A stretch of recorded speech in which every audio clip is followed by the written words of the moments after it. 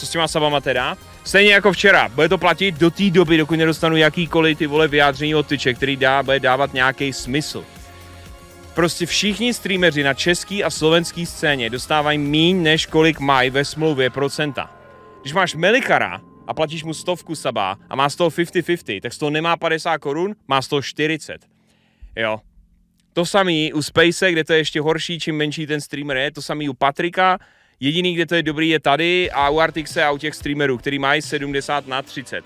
Kde potom, já teď mám asi 57 korun z jednoho sabu. Což je furt o 13 korun méně, než kolik bych měl dostat. A když máte ty vole 9000 sabů, krát 13 korun, tak to už je relativně slušný rozdíl na výplatě. Takže, pointa je stejně jako včera, jestli máte rádi nějaký malý streamery nebo velký streamery, je to vlastně jedno na téhle scéně, kde se